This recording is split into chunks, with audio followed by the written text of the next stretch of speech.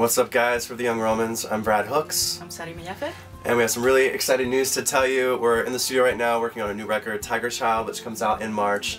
And one of the tracks on that record, Where You Go, just landed a spot in the new Ewan McGregor, Emily Blunt film, Salmon Fishing in the Yemen.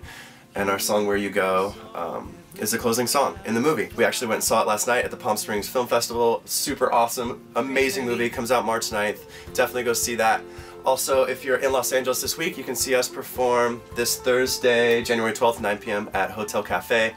And we're opening up for our label mate, King Volt, who is freaking ridiculous. Amazing. Like, literally amazing voice, amazing guitar player, sick band. Um, so we go on at 9, they go on at 10, and you can come support the label Red Parade and, uh, and all that. We love you. We thank you so much for your support, and we really hope to see you soon.